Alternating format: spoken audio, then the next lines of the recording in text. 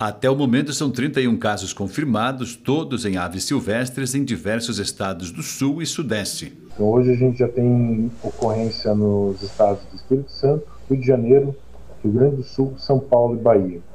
Todos em aves silvestres, então isso significa que não houve alteração do status do Brasil.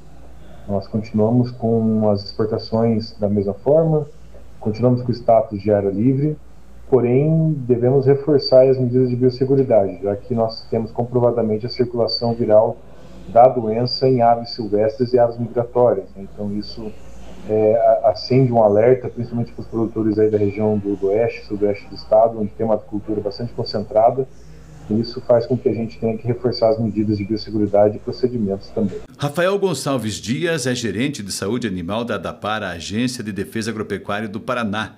Pede cuidados especiais nos aviários comerciais. As telas nos aviários, né, evitando que passarinhos entrem dentro dos galpões, evitar que as portas, os, os, portões fiquem abertos desses galpões da propriedade, evitar que pessoas ali ao processo tenham contato com essas aves, desinfecção dos veículos, que os produtores usem sapatos e roupas é, específicas para entrar dentro dos galpões, é, controle de roedores, entre outras medidas que são realmente importantes nesse momento. Né? Então, é, a avicultura, o setor avícola vem já investindo muitos anos em estrutura, em procedimentos, exatamente para chegar nesse momento de desafio sanitário, ter uma proteção é importante, uma barreira sanitária para evitar a introdução de doenças como a influenza aviária. Caso a gripe atinja aviários comerciais, os prejuízos serão muito grandes. A gripe aviária ela tem uma, um poder letal nas aves muito grande. É uma doença altamente letal, chega a matar aí 80, 90% do lote, né, de uma forma muito rápida, em alguns dias. Isso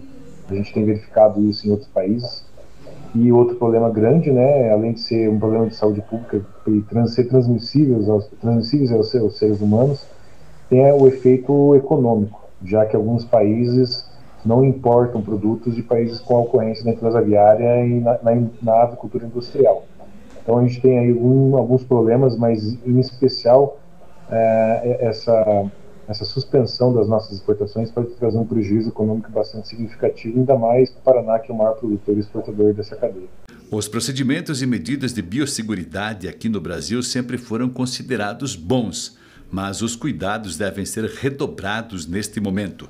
É, basta um produtor que, que não faça direito os, os, trabalhos que tem que ser feito, não cuide bem da sua propriedade, pode colocar em prejuízo todos os demais produtores da, da, do estado, da região e do país.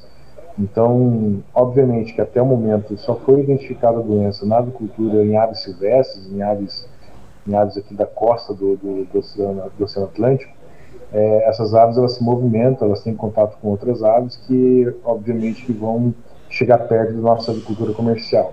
Só tem um jeito de prevenir, que é trabalhar com biosseguridade.